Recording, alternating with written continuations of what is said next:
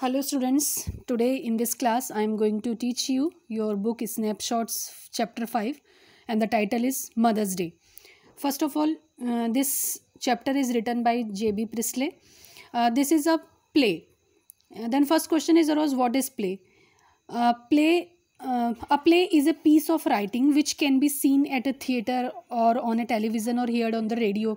Uh, plays often shows conversation between the people. Uh, play is usually watched rather than being read. The people who appear in the play are actors in a theater. Uh, they stand on a stage, uh, so the people watching can see them better. A director helps the actor to help uh, to work better or tells them how we uh, how the how he wants the play to be okay means play क्या है? Play जो play होता है ये एक इस तरह का राइटिंग पीस है जिसको हम थिएटर में देखते हैं।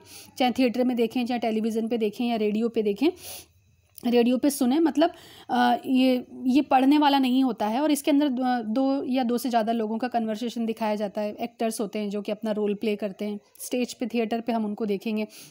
और जो डायरेक्टर होता है, वो उनको गाइड करता है कि तुम्हें क्या एक्ट करना है, तुम्हें कैसे उसके अंदर तुम्हारा रोल क्या है।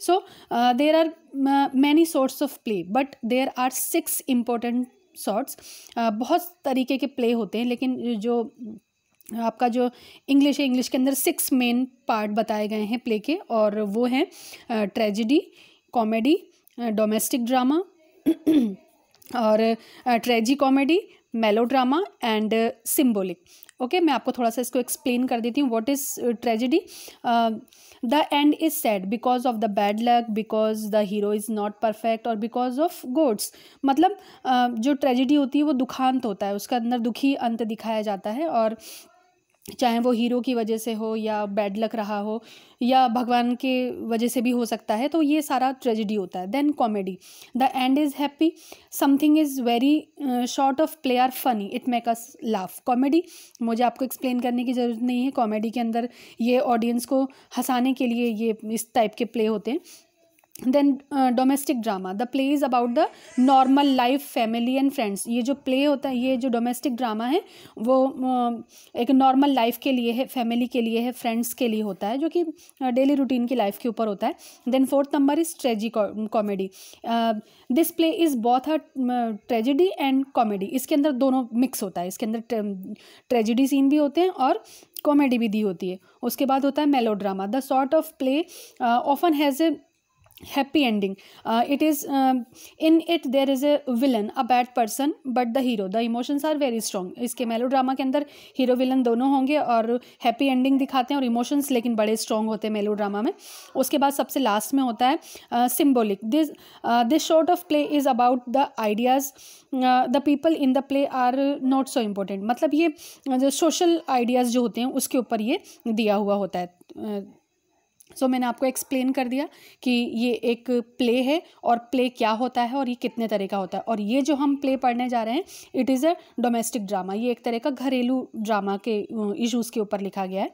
So come to the our lesson The play Mother's Day, which is written by J.B. Priestley, is a humorous portrayal of the status of a mother in a family. ये जो प्ले है इसके अंदर एक माँ जो कि जे बी प्रिस्ले ने लिखा है एक माँ घर में जो उसका स्टेटस होता है जो नॉर्मली एक माँ के साथ जो बिहेव होता है वो इसके अंदर एक्सप्लेन किया गया है then come to the theme and the character of the play there are total five character in this play ये जो प्ले है इसके अंदर टोटल फाइव कैरेक्टर हैं Mrs Annie Pearson George Pearson Doris Pearson Cyril Pearson और Mrs Fitzgerald ये पाँच character हैं हमारे जिसमें से वन टू फोर जो मैंने आपको ऊपर के बताए वो एक ही फैमिली के हैं और जो मिसिस फिट्जराल्ड है वो नेबर हैं. Okay and the what is the theme of the play the action takes place in the living room of the Pearson house this play raise a serious issue and deals with it in a humorous manner. The comic undertone, however, does not belittle the importance of the issues raised in the play मतलब normal जो घरेलू जो issues होते हैं, उसके ऊपर ये है और ये प्ले बनाया गया और जो उसका फ़र्स्ट सीन है, वो मिसेस जो पियर्सन है, उनके उनके घर से स्टार्ट होता है ओके तो इस, ज़्यादा कुछ इसमें है नहीं। चलिए, आगे देखते हैं प्ले में क्या होता है। The play centres around Mrs Annie Pearson a devoted wife a doting mother she is a pleasant and worried looking women in her forties on a daily basis. Her uh, uh her kids disrespect uh, and disregard her in her own home. She was uh, treated as a slave. Thus she felt a lot of ignorance and embarrassment every day. Not only from her daughter doris and son uh, cyril but also from her husband george pearson who has completely turned a blind eyes from his wife. Means ये जो play है आपका, ये any Pearson जो है उनका, उनके वो सेंटर हैं इस प्ले का। बहुत ही डिवोटेड लेडी हैं, बहुत ही नाइस मदर जिसको बोलते हैं वो हैं, बहुत ही प्लीजेंट है। लेकिन वरिड वरिड लुकिंग वुमेन हमेशा चिंतित सी दिखती हैं at the age of forty चालीस साल इनकी उम्र है। और जहाँ तक अगर हम उनकी डेली लाइफ को की अगर हम बात करें तो उनके जो किड्स हैं उनके जो बच्चे हैं वो उनको डिसरेस्पेक्ट करते हैं डिसरिगार्ड उनको करते हैं और घर में उनकी जो एक पोजीशन है वो एज ए स्लेव एक जैसे एक, एक नौकर होता है एक मैड होता है घर में काम करने वाला उनकी तरह और यही रीज़न है कि she felt a lot of ignorance and embarrassment और वो बहुत ज़्यादा मतलब अपने आप को अनदेखा सा अकेला सा महसूस करती है और ये केवल उनकी बेटी डॉरिस और उनका लड़का सिरिल ही नहीं करता बल्कि जो उनके हस्बैंड है उनके हस्बैंड ने भी उनकी तरफ़ से बिल्कुल बिल्कुल अपनी आँखों को बंद किया हुआ है। So her neighbour Mrs Fitzgerald is a fortune teller she tells Mrs Pearson to make up her mind and assert herself if she want to be the mistress of her own house and the boss of her own family at present Mrs Pearson is reduce to the status of unpaid domestic servant who does all the domestic chores without even being uh, requested for them or thank thanked later on means जो Mrs uh, जो Fitzgerald है वो उनकी पड़ोसी है Fortune teller वो भविष्य वगैरह बताती हैं और वो मिसेस पियर्सन को बोलती हैं कि तुम्हें अपने आप को अपने माइंड को मेकअप uh, करना होगा तुम्हें अपने माइंड को बनाना होगा तुम्हें अजर्ट करना होगा कि तुम अपने इस घर की एक नौकरानी के रूप में रहना चाहोगी या अपनी फैमिली की बॉस बनना चाहती हो। तो ये तुमको मतलब वो उसको uh, समझाती है कि ये डिसीज़न तुमको लेना है। एंड uh, जो मिसेस पियर्सन की जो प्रेजेंट की सिचुएशन है, वो क्या है कि वो एज ए स्लेव वो घर का पूरा काम करती हैं और बदले में ना तो कोई उनको थैंक बोलता है और ना ही मतलब उनसे रिक्वेस्टली उनसे कोई कोई कोई चीज़ कोई बोलता है ना उनकी बेटी ना बेटा ना उनके हस्बैंड नॉर्मली थोड़ा सा प्लेस से थोड़ा सा हटते हैं। नॉर्मली व्हेन आपके घर में भी ये होता होगा कि आप आपकी आपकी mothers do a lot of work for you सारा दिन आपके लिए आपकी मदर्स काम करती हैं। लेकिन अगर अगर कोई थक के अगर आपकी मदर बैठी होती हैं और अगर आप वो एक अगर एक गिलास पानी भी मांग लेते हैं तो आप बड़ा सोच समझ के उठते हैं कि अरे मम्मी ने पानी मांग लिया अब देना है। सो so, ये जो ये जो मेंटल uh, सिचुएशन होती है तो उस समय एक माँ की फीलिंग्स क्या होती है? एक माँ क्या सोचती है? वो हम इस प्ले के अंदर पढ़ने जा रहे हैं। मतलब कोई भी कोई भी हो चाहे वो कितना कितना भी काम कर ले कुछ भी करे अपनी फैमिली के लेकिन अगर फैमिली वाले उसको उसको एक एक एक रेस्पेक्ट दें उसको उसके साथ अच्छे से ट्रीट करें तो वो वो उनको लगता है कि नहीं हमने जो किया हमको उसका हमको उसका मतलब पे हो गया। हमने जो किया हमको बदले उसको जो मिलना था वो मिल गया। Okay again come to the story.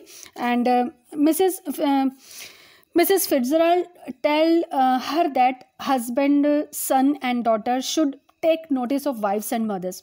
Not giving them order and treating like dirt mrs pearson bears the uh, ill treatment because she is very fond of her husband and children. Though they are quite thoughtless and selfish. She tries her best to have it out with them but uh, does not know how to begin.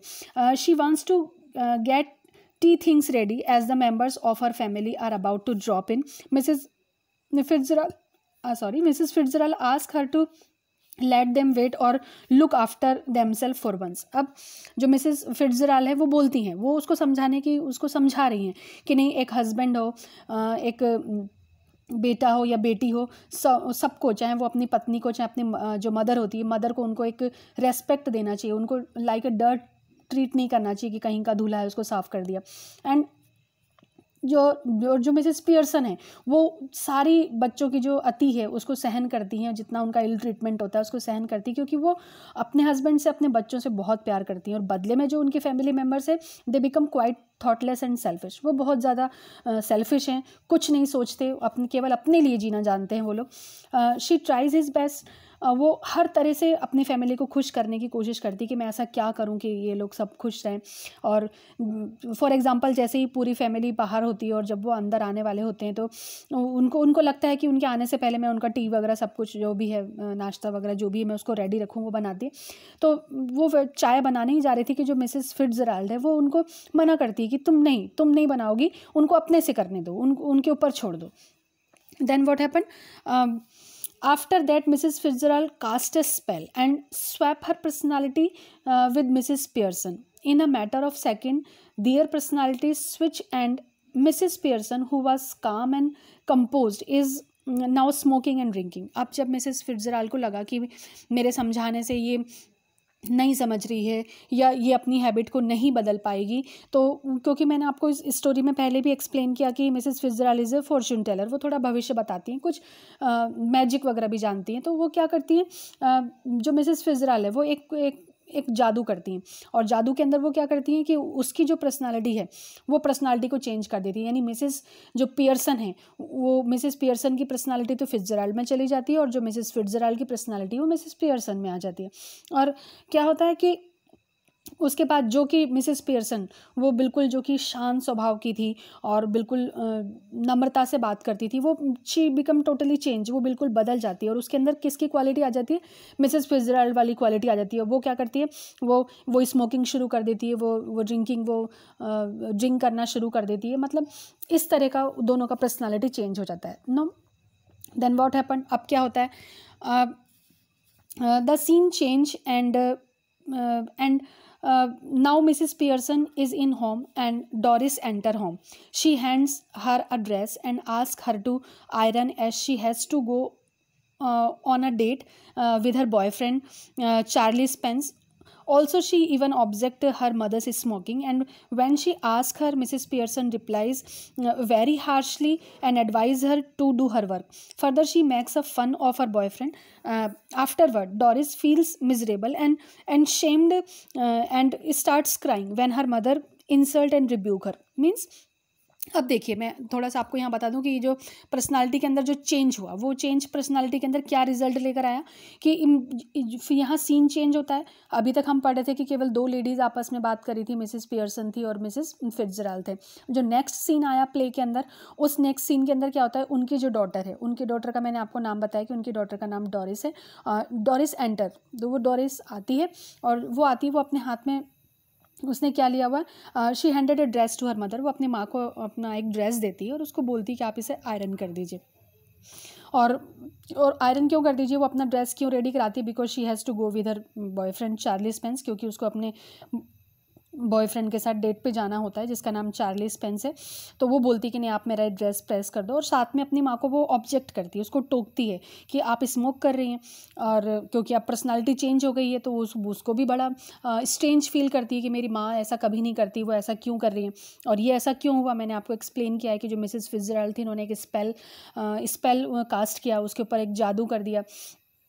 तो वो अपनी माँ को जब टोकती है कि नहीं, आप आप स्मोक कर रही हैं तो उसकी माँ थोड़ी सी एग्रेसिव हो जाती है और वो बड़े ही कठोर शब्द में उसको बोलती है कि तुम अपना काम करो।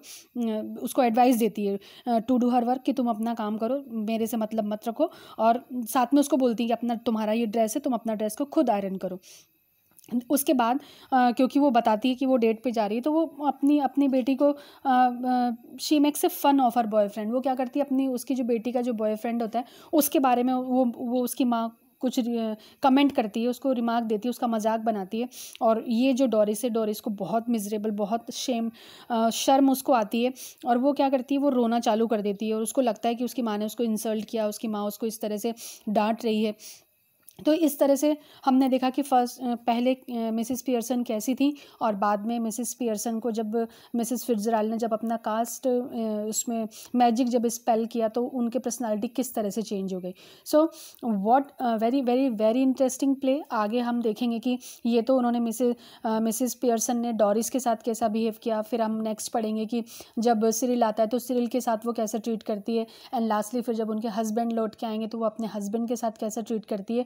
और नेक्स्ट जो हमारा क्लास होगी नेक्स्ट क्लास में मैं फिर आपको बताऊँगी कि जब रिज़ल्ट क्या होता है कि ये जो पूरा उन्होंने मैजिक स्पेल किया तो मैजिक स्पेल करने के बाद क्या होता है? ये फैमिली मेंबर्स सुधर जाते हैं या नहीं सुधरते हैं? We are going to study in next class okay? uh, if you have any problem you can ask me. Till then goodbye.